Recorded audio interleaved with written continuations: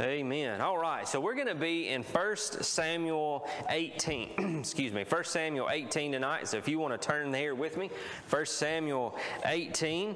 Uh, and we're going to look at friendships. And it's interesting tonight how friendships come to be. Uh, sometimes friendships, you know, you, you start in school uh, and you just become friends because you, you know, you have classes together and you're together every day for, you know, seven and eight hours a day so therefore, you know, you, you almost can't help it but to be friends. How many of y'all have friends that you grew up with in school that you're still friends with today? And y'all have some of those friends? I've got some of those today. Uh, you know, we may not talk as much as we used to, but anytime I would need them, probably same as you. Anytime I need them, I could call them, and I know that they would be there, and the same with me. So those are those are good friends. But then there's sometimes it's kind of what we're going to talk about tonight that that some friends come about that is it's almost a divine meeting that you didn't plan on meeting each other, you didn't plan on seeing each other. You know, one of my greatest friends, and uh, he goes to Oakdale. Him and his family do, and you know, he and I met, and we met in the most odd way. You know, his family, his mother-in-law, and um, uh, it was his, yeah, his mother-in-law and father-in-law. They were uh, attending our church there at Cherokee Springs, and um, I just enjoyed being there. And we were having, I think it was a Christmas party at our house one night for our Sunday school class. And she texted me and she said, "Hey, can I bring my son or my daughter, and my son-in-law and my daughter to the party?" And I said, "Well, sure." And he came in, and as soon as he walked in the door, he was a police officer at the time, and he walked in, and man, he had his his gun and his uniform, and and I'm, I ain't gonna lie to you. As soon as he walked in the door, I didn't like him. As soon as he walked in the door, I didn't like him right off the bat. Just the way he was looking and acting, you know, it was just one of those just arrogant looking people, you know. And so uh, I saw him and I just didn't like him. And, and so, we, you know, we, we ended up talking a little bit that night. And I'm going to tell you, and that was, I don't even know how, I mean, that was probably 2012, maybe 2013, something like that, that, that we met. And, you know, he is, he, I would say he's probably one of my best friends in the world. Then I even talked to him just a few minutes ago that, you know, we fight like dogs dogs, but you know, we are we are best friends to the end, and we've always been there for one another. But it was one of those things that I, I never even thought about seeing him or meeting him. But you know, it's just those divine things that you that you just find somebody in life that you can you can be real with, you can be honest with. I think I've shared it with you before about friendships. You know, you can have, you know, some people have a thousand or two thousand friends on social media and Facebook and Instagram and all that other stuff. But those aren't real friends. Those are just acquaintances. Those are people that you know. Those are people, maybe you might even see them out in public and have no idea who they really are. But when you get a true friend, you know, they, there might be four or five in a whole lifetime of true friends in your life. People that you can count on, call no matter what. You can be honest with them, open with them, no judging. You know, they just love you, they just support you. You see, that was Jonathan and David. It was a divine meeting for Jonathan and David. So we're gonna we're gonna be in 1 Samuel 18, verses 1 through 7. So if you have your Bible, would you stand with me tonight as we honor the reading of God's Word? 1 Samuel 18, verses 1 through 7. We're talking about that type of just amazing friendship between these two young men. It says in verse 1 of 1 Samuel 18, and it came to pass when he had made an end of speaking unto Saul that the soul of Jonathan was knit with the soul of David. And Jonathan loved him as his own soul. And Saul took him that day and would not let him go, uh, no more home to his father's house. Then Jonathan and David made a covenant because he loved him as his own soul.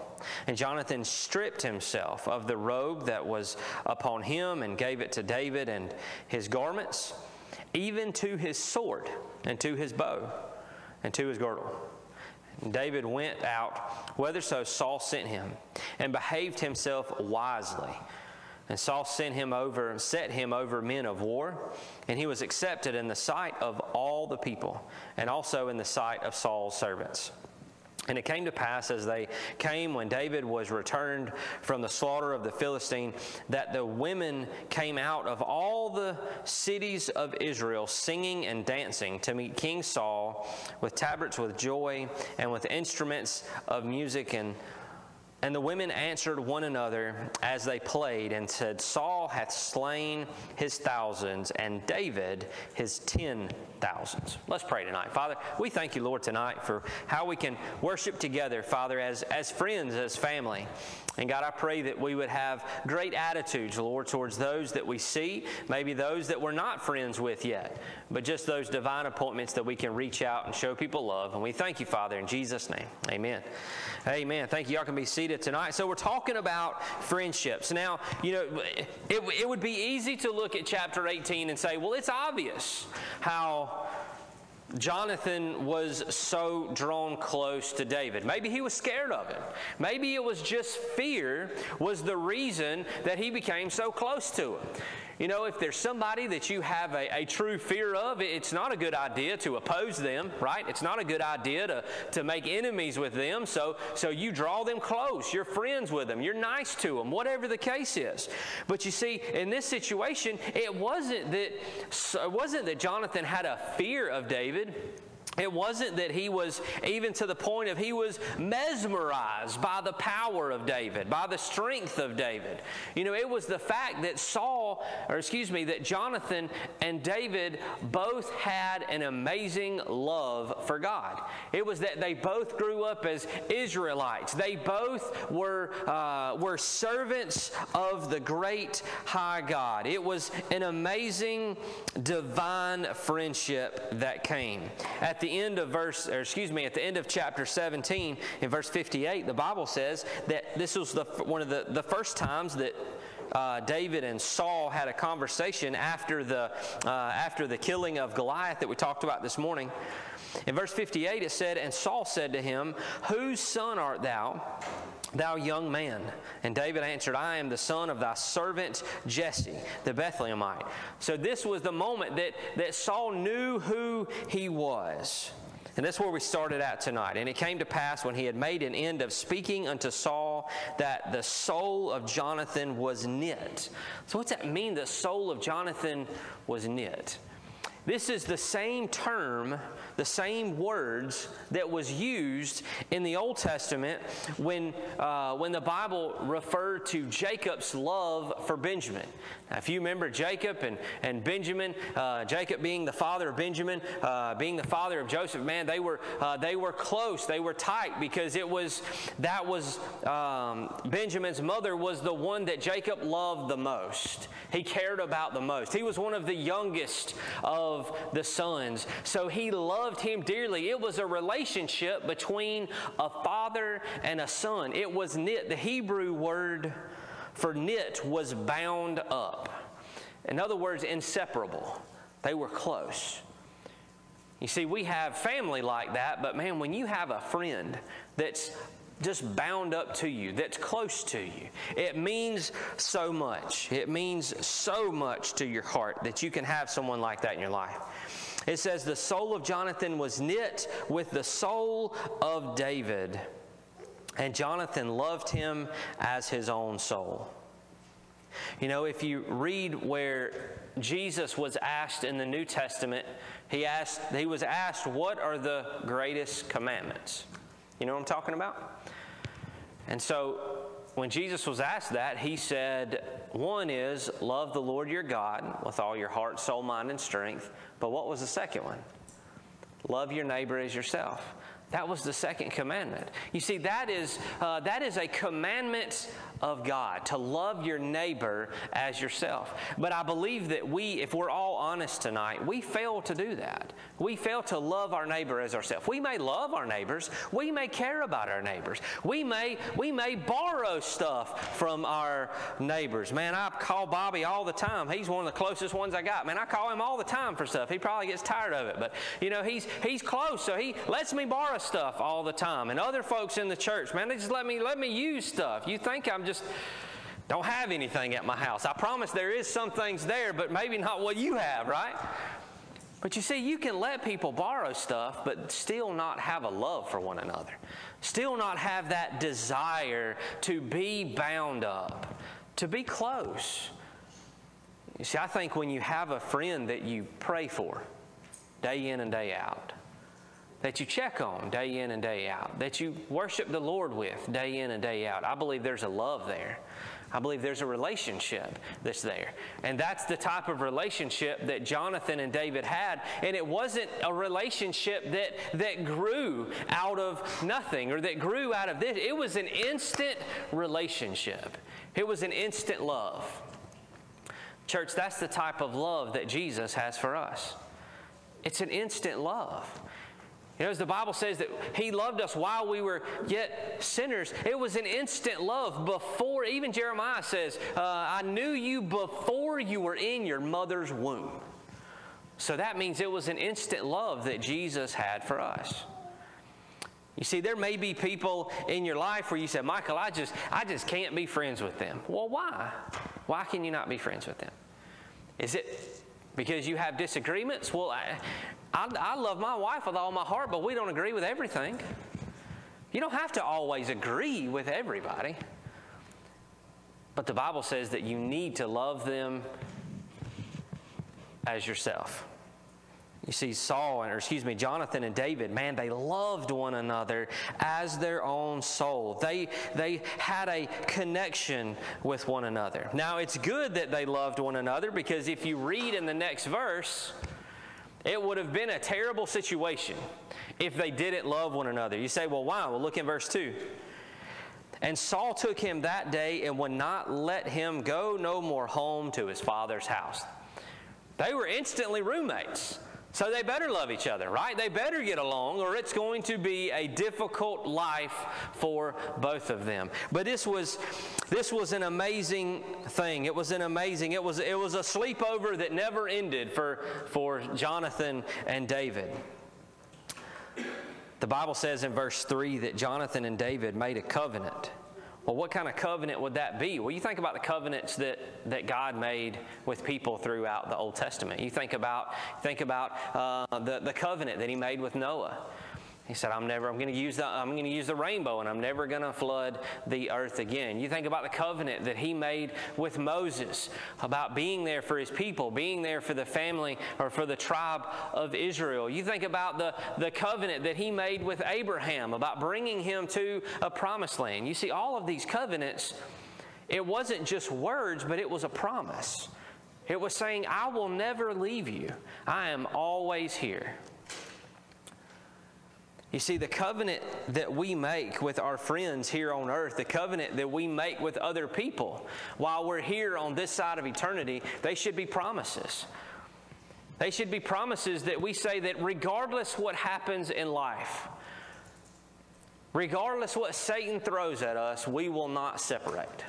We will not cause the cause. We will not allow the smallest things in our life, the most uh, the most craziest disagreements that we have. Those things will not split our friendship.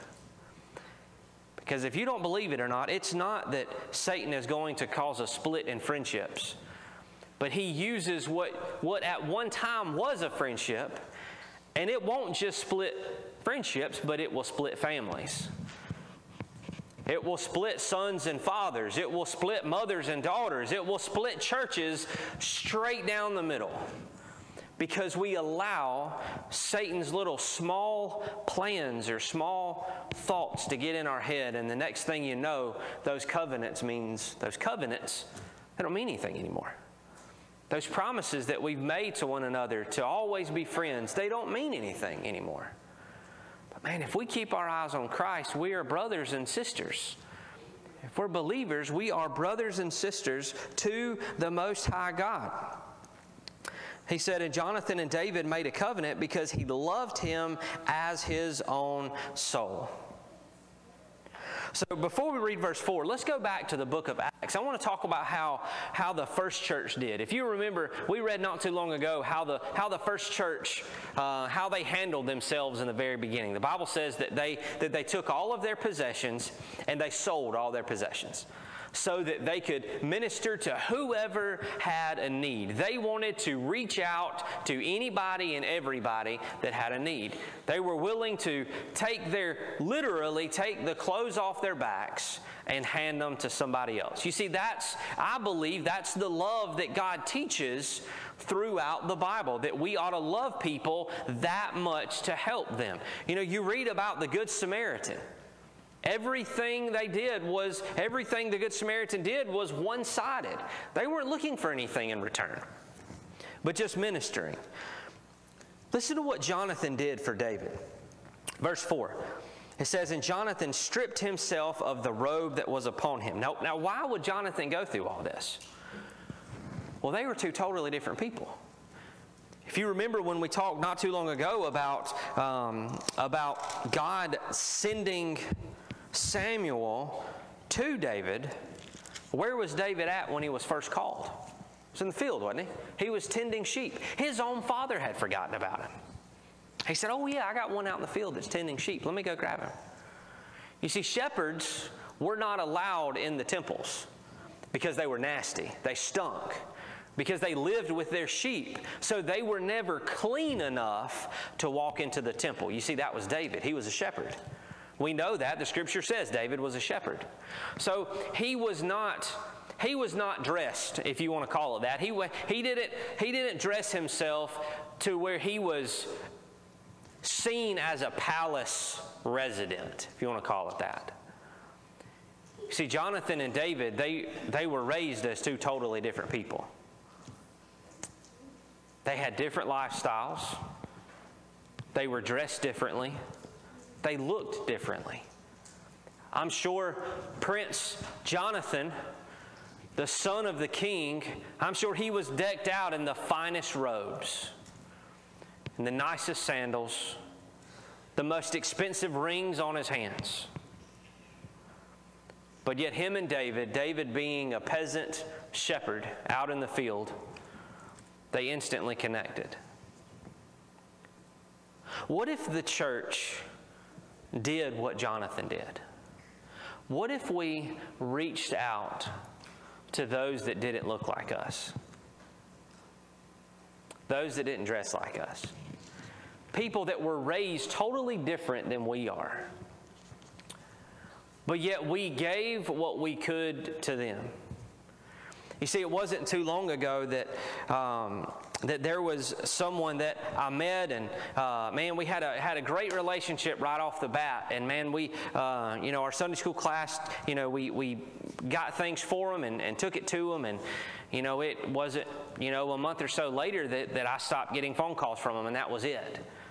And you see, as Christians, we may look at situations like that and say, I'm not wasting my time. I'm not, I'm not wasting my, my, my resources to somebody that's going to be like that. But if we're honest with each other, that's how we have been to Christ at some point in our life.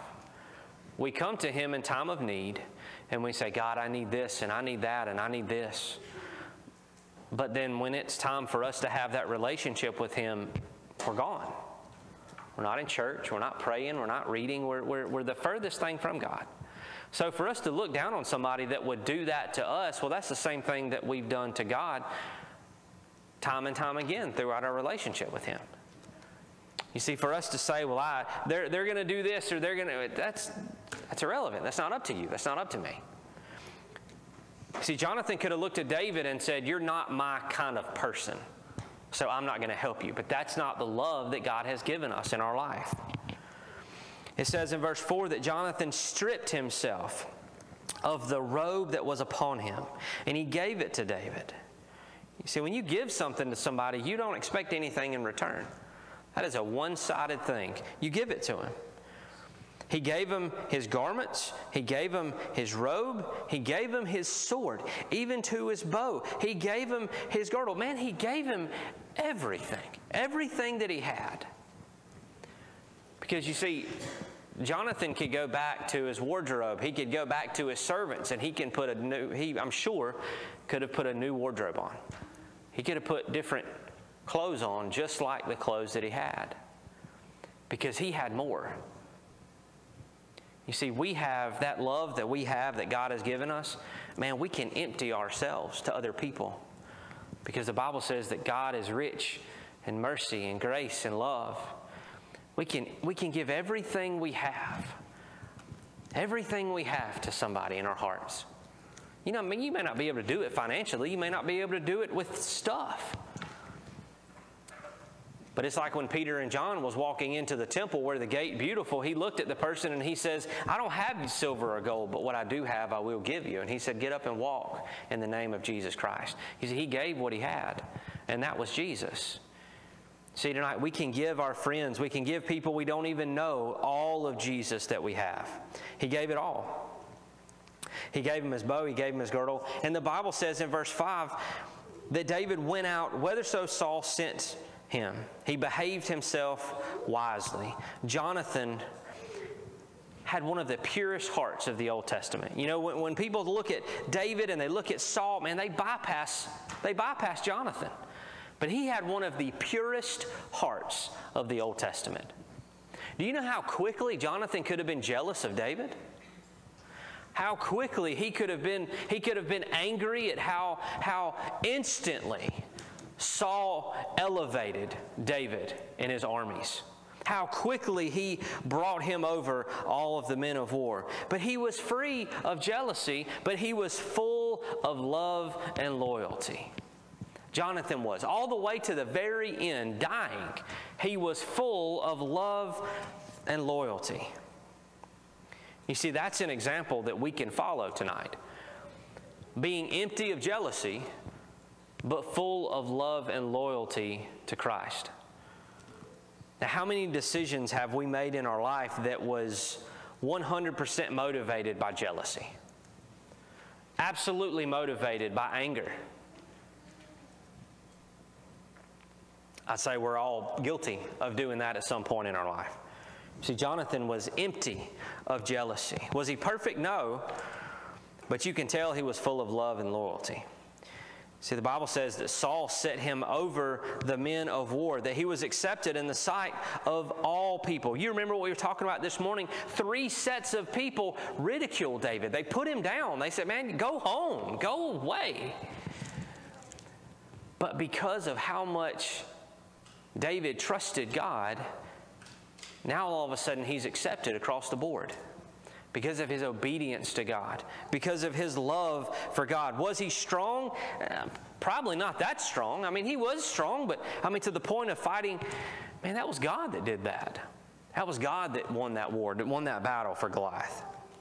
It says he was accepted in the sight of all people and also in the sight of Saul's servant. And it came to pass as, as when David returned from the slaughter of the Philistine that women came out of all the cities singing and dancing to meet King Saul with tabrets with joy, with instruments of music. Man, it was a festival. Things were going great for David. He had a new best friend, he was living in the palace. He was over men of war, being even a teenager. He was over men of war. He was, he was a, a sergeant, if you want to call, in, the, in, the, in Saul's military. But here's what I want to talk about tonight. Just as we saw this morning, just as we've seen over the past, man, several weeks as God is continuing to move within the church, it was one comment, it was one comment by just some random people, right? By just some random people that caused hatred to go into Saul's heart just like that and it changed everything. It changed everything for David. It says in verse 7 And the woman answered one another as they played, and said, Saul hath slain his thousands, and David his ten thousands. That was the end of the honeymoon, so to speak. That was it. It went from Saul loving David as a, as a son, as, a, as one of his leaders, to the very next verse, it says, And Saul was very wroth and he was displeased. Did David do anything differently? No, he didn't. He didn't do anything differently. He done, if anything, he done what Saul told him to do. But because of somebody not even in the picture, but just some ladies worshiping God and having almost a parade and being thankful for what their, what their leaders are doing to keep them safe it caused Saul to hate David. Just that quick. Even to the point, if you keep reading through 1 Samuel chapter 18, that, that Saul tried to kill David multiple times. You know, you would think that would cause Jonathan to say, hey, you know, we're close, but this covenant's got to end. I'm not risking my life for you. But he was so devout to David. He was so committed to the covenant that he made to David that regardless if it caused his life to be in danger, he loved David that much. He was bound to David, he was knit to David. Church, what if we were bound that close to one another? What if we were knit that close to each other? that regardless what happens, regardless what somebody else outside of the church may say, somebody outside of your family may say, say it doesn't matter because I love them that much. I'm not gonna, I'm not gonna care what other people say because I'm gonna promise you today, somebody always has something to say, right? Somebody always has something to say. But God is moving. God is doing great things. There's friendships that we need to have. David, the Bible says that David was playing with his hand. In verse 10, he was playing the harp, and Saul had a javelin in his hand. And he says, For I said in verse 11, I will smite David even to the wall with it. And man, God got him out of there just like that. Three times that we know of just in through verse 19. Saul tried to kill David over and over again. You see, I'm going to read this quickly and then we'll, we'll close out tonight. If you go to verse 20, listen to the protection, or excuse me, go to chapter 20. Listen to the protection that Jonathan gave David. You know, the Spirit of God has been protecting David. Even in chapters 19 and 20, David is on the run. His even wife is, uh, his wife is even uh, basically turned her back on David. He was worshiping and praising God, and she looked out the window and she saw him worshiping the Lord and dancing with all of his might. And she, man, she was mad. She was upset and it caused God caused his wife to be barren because of the because of what she saw because of her attitude. But David was on the run. In chapter 20 verse 4 it says and then said Jonathan unto David whatsoever thy soul desireth I will even do it for thee. And David said to Jonathan behold tomorrow in the new moon I should not fail to sit with the, with the king at meat, but let, but let me go that I may hide thyself in the field until the third day. If thy father uh, at all miss me, then say, David earnestly asked, Leave of me that he might run to Bethlehem, his city. For there is a yearly sacrifice there for all the family. Go down to verse 9. It says, And Jonathan said, Far be it from thee. For if I know certainly that evil were determined by my father to come upon me, then would I not tell it to thee? And David said to Jonathan, Who shall tell me, or whatsoever thy father knows so roughly? Answer thee roughly. And Jonathan said unto David, Come, let us go out into thy field.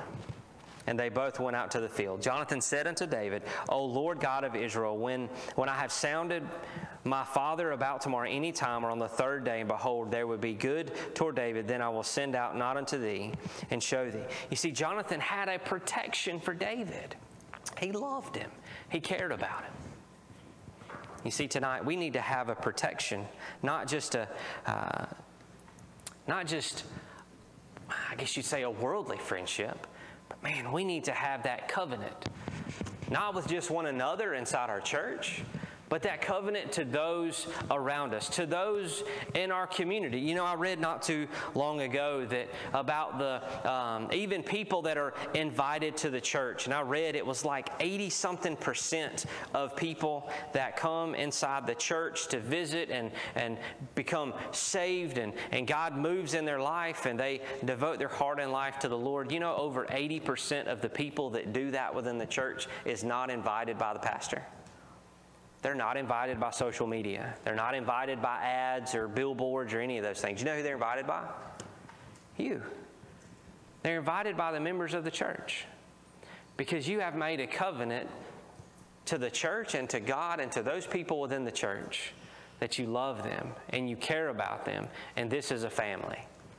And you make those you make those connections to all those that you love. You see, it's all about the kingdom. It's all about serving God and living for the Lord. So I want to I want to have a, a time of prayer tonight. Miss Glenda, if you will come and play for us tonight, if you would.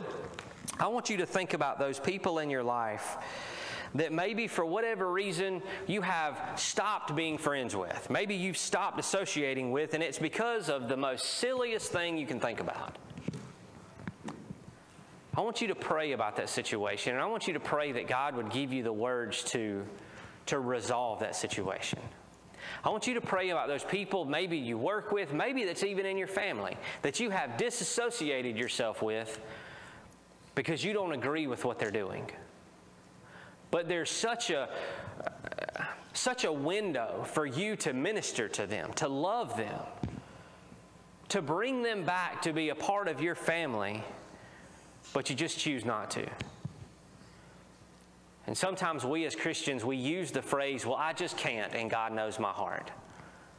You see tonight, God does know your heart, and that's, that's, that's all there is to it. It's not that you can, it's that we choose not to. And we all have these people in our life. And as Christians, those are situations that we can help. Those are people that we can lead to the Lord if we choose to. If we choose to. So if you would stand with me tonight, I want to pray for you. And I want to give you an opportunity to come down. If you would go and stand tonight.